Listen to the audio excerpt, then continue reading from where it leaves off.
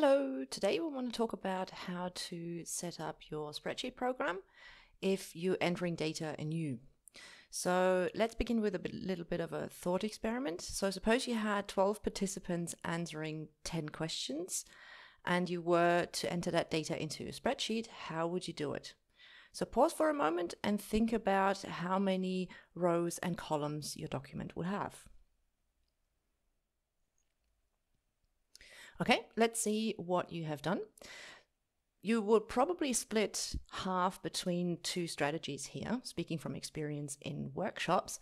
Uh, one group of you will probably have a, a, document that has 12 rows and 10 columns, or 13 rows and 11 columns, depending on whether you count uh, meta information columns and rows.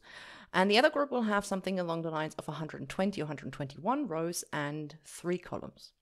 So, what happened? You probably chose one of two formats. So in the wide format, or what we call the wide format, that is um, 10 columns or 11 columns if you count the column for a subject. And then you have 10 columns with the questions that people answered and perhaps with the score on a Likert scale of some sort. The other option is to choose a long format which means that you have the subject ID in one column and then repeated for every question that the participant answered along with the score. So in working with spreadsheets, we usually say you have one row per observation. Now, in corpus linguistics, that's usually the actual hit that you find in a corpus. So that usually comes with one row per observation already. And with survey data, it's a bit more tricky because you would have to think about what is your observation. Is it your participant? That would speak for a wide format. Or is the observation the response by any given participant, which would speak for the long format? Now, it comes with a bit of pros and cons on both sides. The wide format is obviously uh, more compact and in this data set quite uh, clear and you could directly do some um.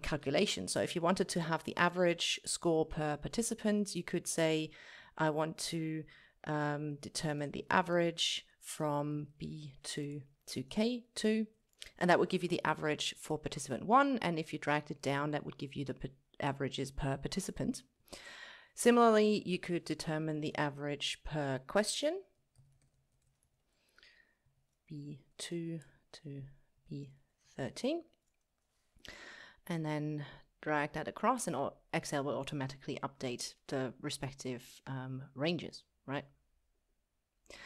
So that is an advantage for quick and dirty analyses. Um, but there it comes with a bit of a disadvantage. So in the wide format, it's quite difficult to add meta information.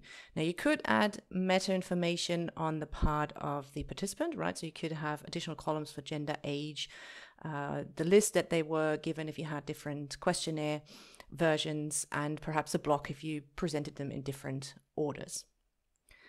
But what you could not do or not do it very easily in this format is to add information on the question types, for instance. So suppose you had for question one, you had two versions and every other participant would get the other version to get a bit of variety, then that information cannot be entered here as easily. So that's what you can then do in the long format relatively straightforwardly. So you could enter or add a new column and say um, maybe Q uh, version. Oh, let's keep that consistent. And then say, okay, participant one always got version one. And then perhaps, perhaps participant two got version uh, two of question one. So it, it depends a bit on your ultimate goal. Uh, but more often than not, probably the wide, uh, sorry, the long format is um, more flexible. Uh, it doesn't allow you to calculate averages as easily as you could with the wide format, um, but you will then use pivot tables in uh, in Excel, which we'll cover in a different uh, clip. And also, if you plan to work, especially for larger projects and more advanced statistics, if you plan to work with programs like R, then the long format is always the better option.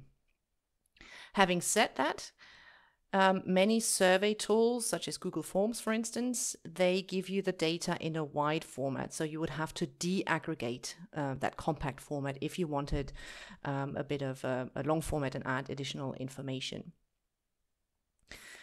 You can also do things like that in uh, in R, but that is quite advanced and probably the topic of another clip or even another tutorial. For now, just keep in mind that we have a difference here between wide and long format and be aware of the consequences that this may have. And also, we're going to talk about this a little in later clips is that I tend to not do any analysis in um, my data sheet. So I will do that separately and we're going to um, look into a couple of options of how you can do that. Okay, that's it for now from a more conceptual side and see you later. Bye.